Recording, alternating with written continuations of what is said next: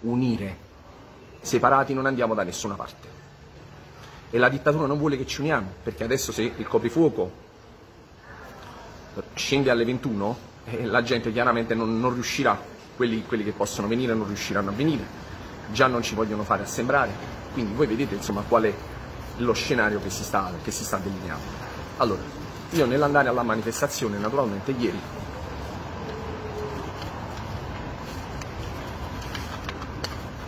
ho preso una multa perché non indossavo la museruola. Ovviamente è una multa legittima, quindi faremo il solito ricorso. Allora, il mio messaggio per le forze dell'ordine è questo. Noi siamo tutti quanti il popolo e siete pure voi il popolo. Voi non vi dovete scusare quando mi fate le multe, perché io lo so che voi siete comandati. Quando parlo con voi in privato, voi siete degli esseri umani. Ma se io cammino senza la muserulla via Roma davanti a tutti quanti, io lo so che voi me la dovete fare la multa, perché sennò voi passare un guai, non potete fare finta di non vedermi. Non vi dovete scusare con me. Dovete capire che quello che io sto facendo è anche per voi e ne dovete parlare con i vostri amici e i vostri parenti, perché noi non ci possiamo permettere di andare avanti così. Perché quando scoppierà la guerra civile io starò dietro, ma altri che stanno molto incazzati, molto disperati, a voi verranno a menare. E non è che vi vengono a menare quando siete 200, vi vengono a menare quando siete a casa voi soli. E questo è il problema. Ho fatto la manifestazione. Alla fine della manifestazione, questo è il secondo verbale. Primo verbale, secondo verbale. Allora, poliziotti, falchi, dirigenti che stavate sotto la regione, soprattutto una in particolare. Voi siete il rango degli obbligati, se non eseguite gli ordini andate nel rango dei disperati perché perdete il lavoro. E io lo so, la dittatura che cosa vuole? Obbligati contro disperati. Voi state seguendo degli ordini illegittimi e lo sapete, che io quando parlo con voi in privato, voi lo sapete. Guardate che cosa sta succedendo in città, questa atmosfera oppressiva, oppressiva di militarizzazione, per cui tu non hai più voglia di uscire, non più... questa non è vita. Voi state togliendo la vita ai cittadini in maniera illegittima. Vi ricordo che voi avete giurato sulla Costituzione. Quindi voi state applicando degli ordini illegittimi contro la Costituzione, perché non volete passare dal rango degli obbligati al rango dei disperati. Ma quando l'economia collasserà, anche voi sarete costretti a prendere delle scelte difficili. Alla dirigente ieri sera, io non ce l'ho con te, perché io lo so che tu sei comandata, però tu devi riflettere su questa cosa. Perché quando tu e i tuoi ragazzi verrete a prendere le mazzate, qualcun altro dei vostri ragazzi al nord gli verrà ordinato di sparare.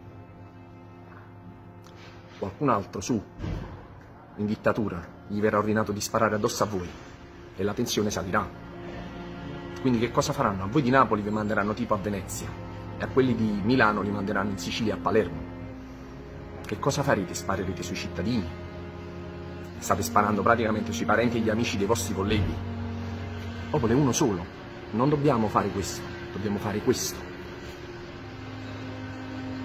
Ok? Noi dobbiamo fare questo. Quindi non esistono le categorie. Allora, io ieri sera ho parlato con un ristoratore di Santa Lucia.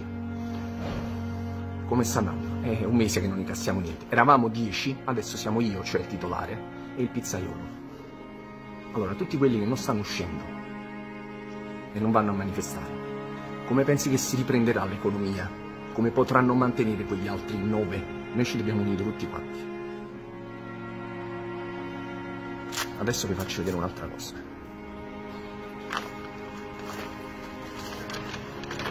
Prima di dirvi chi è, pensateci un po' se lo conoscete. Lo riconoscete? Allora, quelli della mia generazione che hanno studiato lo sanno lui chi è. Perché noi siamo vissuti praticamente a pane e falcone, pane e borsellino, pane e impastato, pane e siani, pane e puglisi, questo è salvo. Guardatelo bene, soprattutto voi delle forze dell'ordine. Salvo non è un eroe perché era un carabiniere.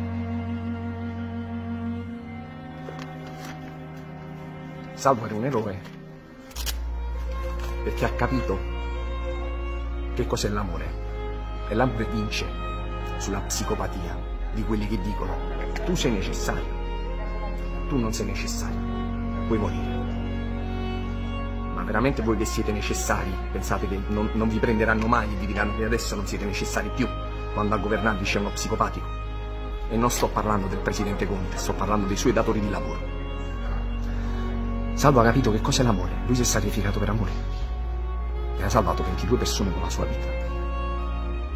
Queste persone ci guardano, a tutti quanti, pure a voi delle forze dell'ordine. Se combattiamo noi per voi, dovete combattere pure voi per noi.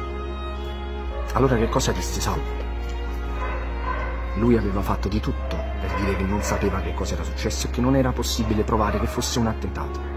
Per quei due tedeschi morti e due feriti, Salvo si è sacrificato e ha salvato 22 italiani che erano stati rastrellati a caso. Lui non era neanche il comandante della caserma, era il vice comandante. E il comandante in quel momento non c'era.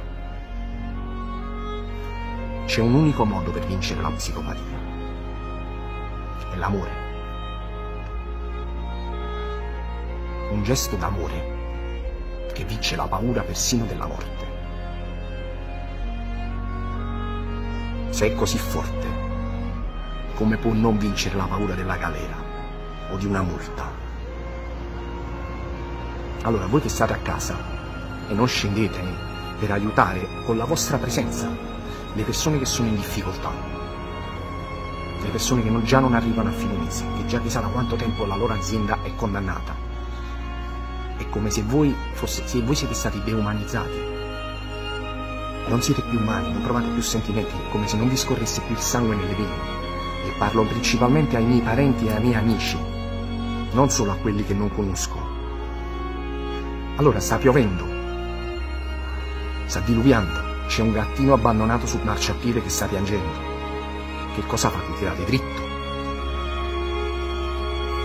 Queste siete le persone che siete, siete queste persone qua. Salvo che cosa doveva fare? Che cosa doveva fare? Doveva dire la cosa non mi, non mi riguarda, io non so niente, non c'entro niente. Non è un eroe perché è un carabiniere, è un eroe perché amava. È un eroe perché ha dato tutto. La vita, il sacrificio estremo per l'amore.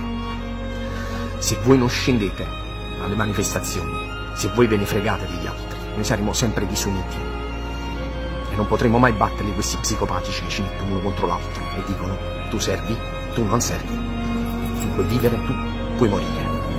Avete capito? Ricordatevi dei nostri eroi, gente che ha fatto l'estremo sacrificio per amore degli altri, non perché era dovere, per amore se muoio per altri cento, rinasco altre cento volte. Dio è con me e io non ho paura. L'Italia ricorda Salvo d'Acquisto, giovane sottufficiale napoletano che si sacrificò il 23 settembre 1943 per salvare dalla rappresaglia tedesca 22 ostaggi, accusati ingiustamente di attentato all'esercito di Hitler per una bomba scoppiata accidentalmente nella caserma della Guardia di Finanza, dove i nazisti erano acquartierati. Quando comprese che i tedeschi non avrebbero rilasciato gli ostaggi, da questo si autoaccusò dell'esplosione e fu per questo malmenato e poi fucilato, mentre gridava Viva l'Italia. Il suo comportamento colpì le SS, il vostro brigadiere, dissero, è morto da eroe, impassibile anche di fronte alla morte. Servo di Dio, medaglia d'oro al valor militare, è sepolto nella Basilica di Santa Chiara di Napoli.